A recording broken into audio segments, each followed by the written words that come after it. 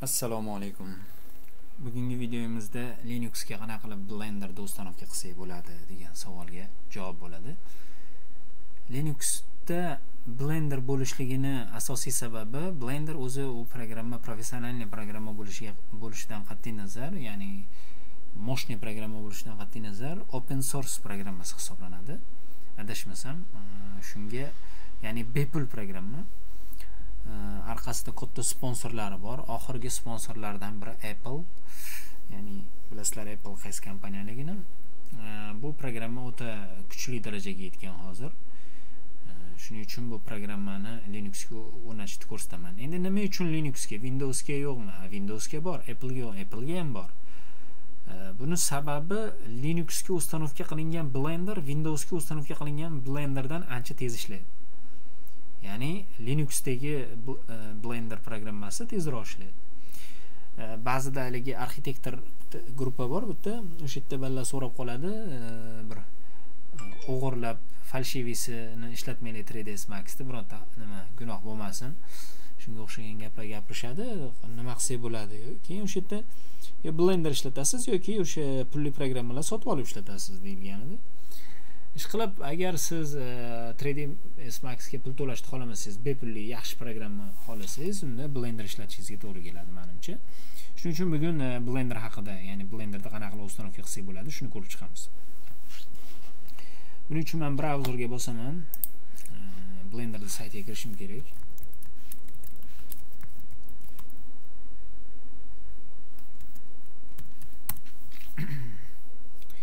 Blender sayti mana blender.org bosamiz va bu yerda download blender bo'limiga bosamiz mana bunday bo'lim ochiladi agar e'tibor beringlar linux uchun 177 megabaytligi ko'rsatilgan agar siz windowsda ochsangiz bu shifra bu yerdagi raqamlar o'zgarishligi mumkin ya'ni windows boshqa sistemada bo'lganligi uchun ularga boshqacharoq nima bo'ladi? Ya'ni joyi kattaroq bo'ladi. Linuxga kichkina joyda bo'ladi. Xo'p, man men bu yerdan hozir download blender qilib 3.0.1 variantini oxirgi ya'ni versiyasini tortishim mumkin, lekin bundanda test holatda turgan versiyalari bor. Ya'ni bundan yana yangiliklar qo'shilgan, lekin u stabilligiga garantiya bermaydi. Beta versiya deydi. shunaqa versiyalari ham bor. Men ko'pincha beta versiya ishlatishni boshlayapman, boshlaganman oxirgi paytlarda. Shuning uchun build qismiga o'taman. Builds degan qismi bor shu qismga o'taman bu yerda mana har xili turibdi man 3.1 ishlataman beta versiya 3.2 yaqinda chiqdi chislosi ham bo'lsa kerak 13 fevral kuni chiqibdi ya'ni kecha kecha chiqqan man beta 3.1 da ishlataman siz xohlasangiz alfa 3.2 ni ishlating xohlasangiz haligi u qismdagi nimani ishlatsangiz ham bo'laveradi bu yerda mana windows bo'limi bor macOS bor nima qilaverasiz man linuxda bo'lganligi uchun mana shu versiya menga yoqadi save qilaman hop e, programma tushyapti, skachat bo'lyapti. Birozdan keyin tayyor bo'ladi, xudo xohlasa. Keyin ichkaridan e, настройка qilamiz. Buni e, Linuxda terminal orqali установка ham qilsa bo'ladi. Mana bunday mana yerdan e, sudo apt sudo apt qilib turib.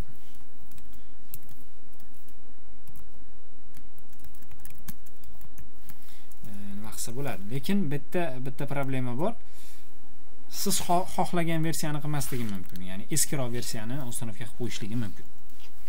E, shuning uchun e, bittani hozir skachat qildim. Hozir skachat bo'lyapti. Shu yerda o'zidan ichkariga kirib turib e, установка qilib ya'ni pustga ham chiqaradigan qilib beraman. Qanaqa qilib qilishni ko'rsataman demoqchiman. Ko'rasizlar o'zlaring. Mana shu versiyasini ishlataman. Ozgina kutamiz.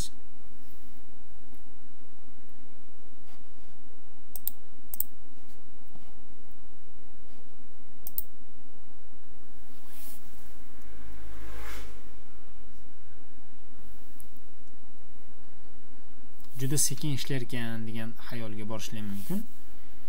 Bizga beruvchi server boru bizni internetimiz o'ta tez ya'ni 50 megabitmi shunaqa bo'lishi kerak 50 megabit tezlikda ishlaydi. Faqat blender sayti e, o'sha serveridan olish biroz sekinroq. Masalan hozir bundan oldin e, 200 qanchadir megabaytlik narsalar tortdik juda tez bo'ldi. Lekin blenderda biroz muammoroq. Biror narsa e, skachat qilsak juda sekin bo'ladi ular o'zini serveridan. Ha mayli neyse biz ko'ramiz.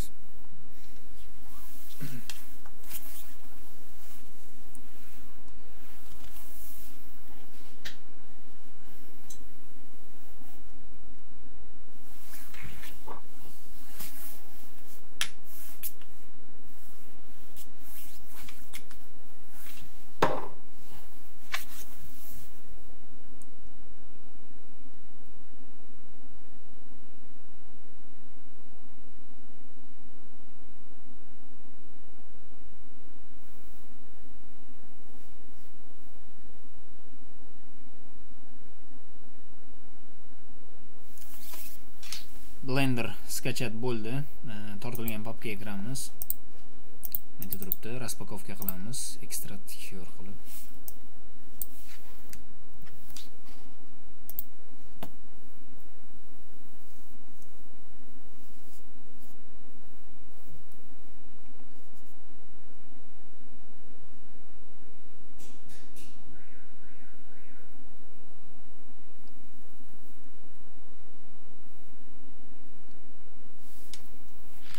Tayyor. Buni o'chirib tashlayveraman chunki bu yerda bor.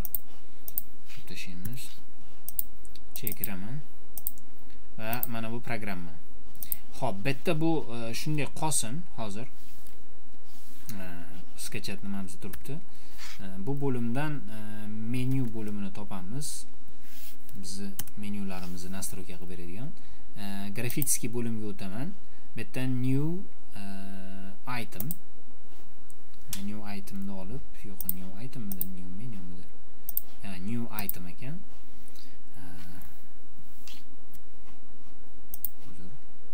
Shu yerda o'zidan to'g'irlaymiz shekilli name ya'ni blender programmamiz oti blender uch nuqta bir. Beta alfamidi beta beta versiya. Komanda qayta turibdi. Download bo'limida turadi. Download bo'limiga kiramiz blender va bu yerda mana joyga qaranglar 293 shuni belgilayman open belgilandi. Bu yerda logotipini o'zimiz qo'yishimiz mumkin. Download bo'limiga kiraman blender. Mana mana qorasini tanladim. Mana sarig'i ham bo'laveradi. Более tiniqroqda haligi o'zini nimasidan ok deb bosaman bu yerda ham ok deb bosaman va bu yerda hozir ko'ramiz. Grafik bo'limiga qo'ygan edik. Mana blender turibdi. Ustiga bosamiz. Programmamiz tayyor. Bu yerda temalar tanlasak bo'ladi. O'ng chapda настройка buni chuqurlamaslikni maslahat beraman. Man faqat temani o'zgartiryapman. Next. Bo'ldi tayyor. Kernelni linuxda ishlatganlar bo'ladi. Kernelni e, oxirgi versiyasi bo'lsa cho'tkiroq ishlaydi. Tushunarli bo'ldi deb o'ylayman. Hmm, ishlayapti.